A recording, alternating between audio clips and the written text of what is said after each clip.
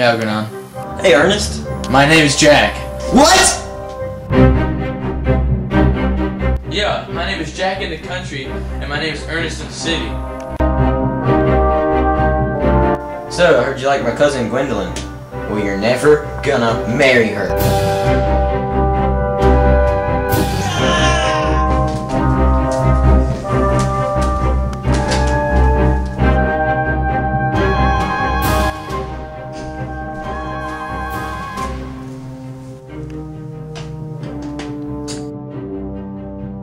Gwendolyn, I love you. Would you marry me if my name were Jack? I love you because your name's Ernest.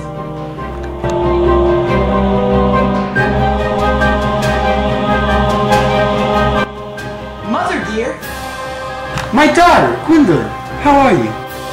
I'm in love with Ernest Worthing. This is Ernest guy? Here's Ernest.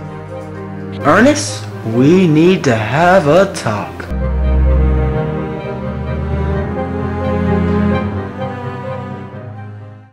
Prism, I don't want to learn my French. Well, you know what your Uncle Jack said? He said to learn your French while he was gone to visit his brother Ernest. But I don't want to. Mr. Chasuble. Good afternoon, Miss Prism. Cecily. Hey, Mr. Chasuble, you should take Miss Prism on a walk. Okay. Would you really like to go on a walk? Yes, I would. Alright. I sure wish my Uncle Jack would come home from visiting his sick brother Ernest.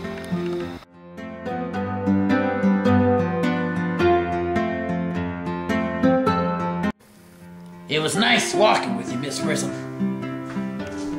Thank you for such a great time, Mr. Chasuble. I had a great time walking through the park with you. Bye-bye. Jack! You're home from the city! Yes, I am home, Miss Prism. So how are you and Cecily doing? Doing just fine, Mr. Jack. I hope your brother Ernest is okay. Well, Mrs. Prism, he died. Ernest is dead?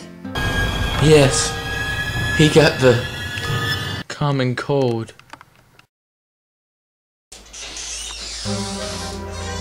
I take it you're Miss Cecily? Yes, who are you? My name is Ernest Worthing. But, but you're dead. Obviously not. I'm Ernest in the city, and Jack in the country. I'm Algernon in the city.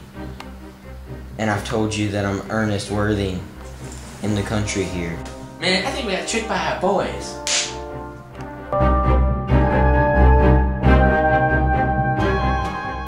I don't know who my parents were. I was dropped in a black bag at a train station. When I was in my younger days, I dropped off a baby in a black bag at a train station. Mother? Son?